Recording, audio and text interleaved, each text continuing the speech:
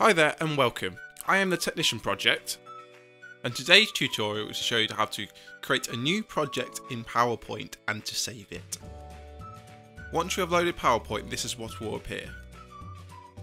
We want to select the white project and press choose at the bottom.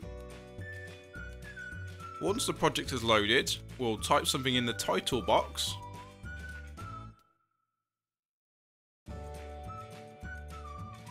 and then we'll go to File and Save.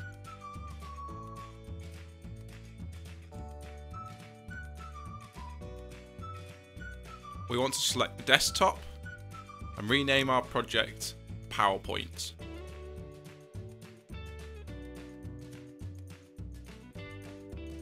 You've now created a project in PowerPoint and saved it. If you enjoyed the video today, please leave a like rating and subscribe for more. Thank you for watching and see you next time.